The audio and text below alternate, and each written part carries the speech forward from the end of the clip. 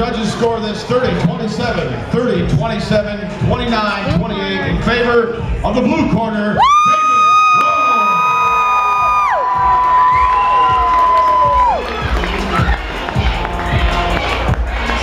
David David! David! David! David!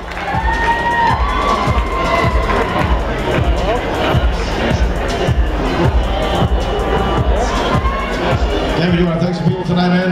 Well, yeah. Like thank Todd and his dad, first of all. Put on a great show. Everybody should give Todd a round of applause for putting it on. Ricky Miller, tough kid, 20 years old. You guys are going to see a lot of him. Uh, hopefully I'll be back in April for the pro show. Looking forward to it. So thanks everybody for coming. Drive safe. Happy holidays. Love everybody up there.